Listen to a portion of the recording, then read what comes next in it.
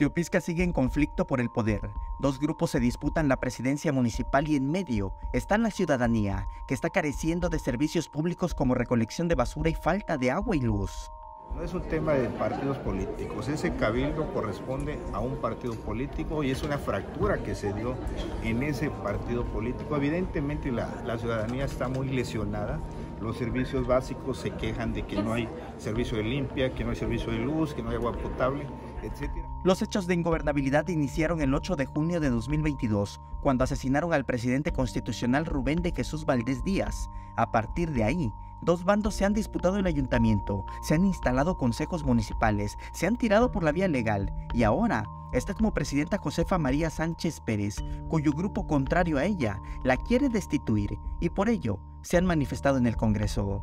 El día martes vino un grupo a manifestarse aquí afuera del Congreso del Estado eh, vinieron a, presionar para que ya se le resolviera ese tema. Sin embargo, hoy se le explicó a los regidores que aquí en el Congreso no trabajamos bajo ese tipo de presiones, sino bajo elementos jurídicos que den certeza cuando nosotros emitimos un dictamen.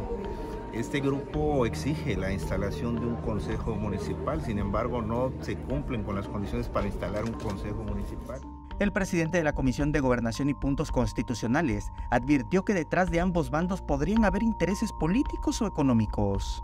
Considero que hay, que hay intereses, no quisiera yo decir que es el manejo del presupuesto, no sé si sea un tema, un tema político, pero hay intereses que no logramos nosotros precisar y que no nos corresponde investigar. Nosotros vamos a actuar de acuerdo a lo que tengamos.